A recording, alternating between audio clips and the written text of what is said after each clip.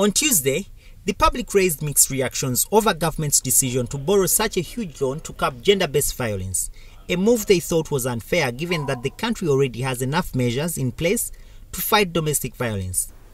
Finance Minister Matia Kasaija said that as a person, he also had reservations about taking this loan, thinking that it was uncalled for. We discussed this loan, not only from here, but we even went to cabinet just last Monday.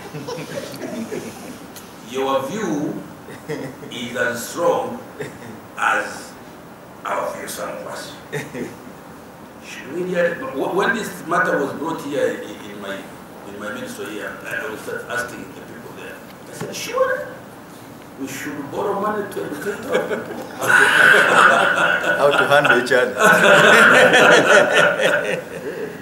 Eh, but uh, I did not feel convinced.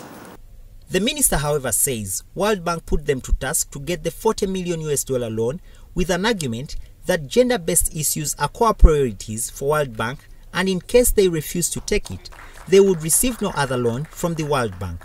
But uh, when I called the World Bank representative, she said, no, now you are being acclaimed as an example of a country which want to address an issue which is uppermost in the World Bank, the question of environmental and Gender. gender-based issues.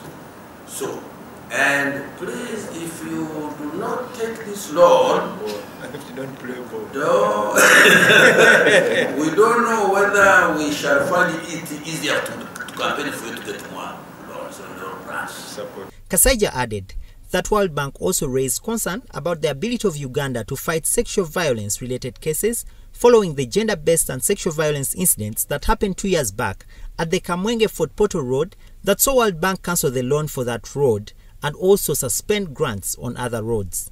With all these concerns, government is considering diverting the loan to Ministry of Education instead of using it to sensitize people about gender-based violence as World Bank suggests. Cabinet directed me to renegotiate the usage of that money. And the issue that brought that matter to that conclusion was that the more we, we our girls are educated, the more the boys are educated, the less you will have these violence, the violence. This report was filed by Jaliat Namwaya for Urban TV.